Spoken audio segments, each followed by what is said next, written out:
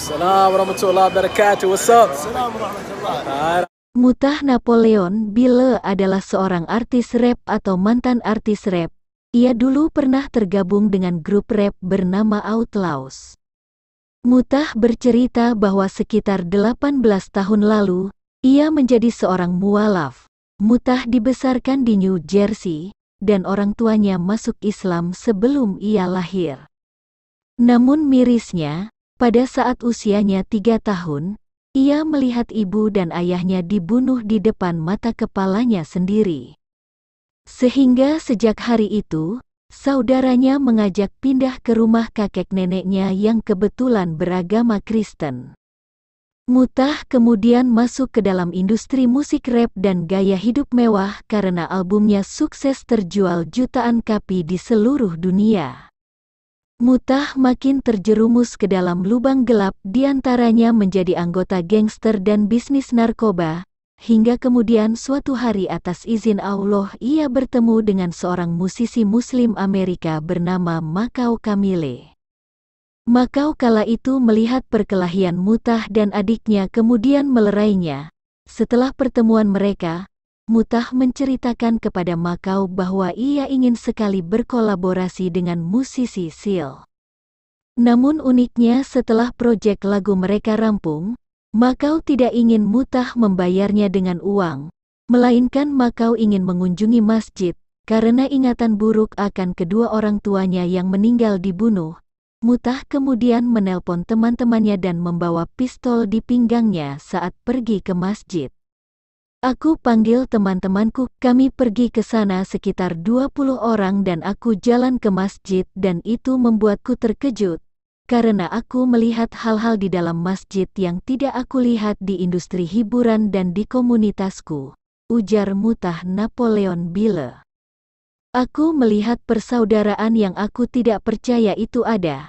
Ketika aku masuk ke masjid, isinya orang Amerika yang didominasi orang kulit hitam, pria Afrika Amerika, tetapi apa yang kulihat kenapa ada orang kulit putih Amerika juga, ujar Mutah Napoleon Bille. Aku melihat orang Arab Amerika, Pakistan Amerika, dan semua orang saling berpelukan, semua orang bercanda dan tertawa satu sama lain, jadi ini adalah persaudaraan yang aku lihat, keturunan, warna kulit, ras tidak jadi masalah, paparnya lagi. Mereka semua adalah satu tubuh dan beda halnya dengan di gereja Amerika. Jika Anda pergi ke gereja ini maka semuanya kulit hitam, ada juga gereja untuk kulit putih, gereja orang Korea, Asia, Anda tidak pernah benar-benar melihat keragaman di dalam gereja di Amerika. Pungkas mutah Napoleon Bille. Dan aku melihat orang-orang dari semua warna yang berbeda, ras, bahasa yang berbeda, tetapi mereka semua memperlakukan satu sama lain seperti saudara. Dan ketika waktu sholat tiba, seorang muslim memberitahuku untuk sholat, tutur mutah Napoleon Bille. Aku bilang kepadanya bahwa aku tidak tahu bagaimana cara sholat, aku tidak pernah sholat dalam hidupku, dan aku ingat kata-katanya, dia bilang sholatlah bersama kami. Apa pun yang kamu lihat, kamu lakukan, tapi ketika kamu meletakkan wajahmu di lantai, ingatlah bahwa kamu hanya menyembah penciptamu. Tuturnya menceritakan saat ia pertama kali melakukan sholat. Jadi apa pun yang kamu inginkan, mintalah pada penciptamu. Dan aku ingat ketika aku letakkan wajahku ke lantai, pertama kali dalam hidup, aku tidak ingin uang. Aku tidak ingin apa-apa dari dunia, satu-satunya hal yang aku inginkan adalah kebahagiaan dan ketenangan, itu saja. Aku akan memberikan uangku untuk bahagia. Jadi ketika waktu sholat tiba, kuletakkan wajahku ke lantai dan aku ingat berdoa kepada Tuhan aku berkata, Ya Tuhan, bisakah Engkau membimbingku ke jalan hidup yang akan membawa kebahagiaan bagiku?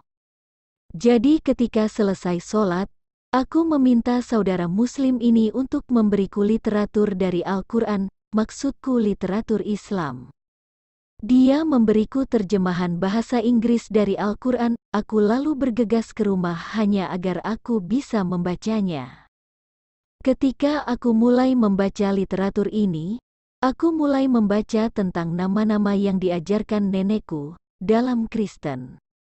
Nama-nama seperti Daud, Sulaiman, Ibrahim, Musa, Ishak, Ismail.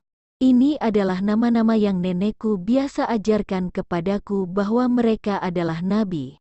Tapi sekarang aku membaca tentang nama-nama ini dan aku menyadari bahwa ini adalah nabi Tuhan, utusan Tuhan, dan kemudian aku membaca utusan terakhir Tuhan, Muhammad yang datang dari Arab lebih dari 1400 tahun yang lalu. Dan dia datang dengan pesan yang sama persis dengan Ibrahim, Musa, Yesus, dan Daud, pesan itu adalah untuk menyembah pencipta kalian.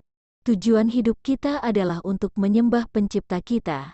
Dan ketika kita mengatakan menyembah pencipta kita, itu bukan berarti kita menyembah dan berdoa tanpa henti.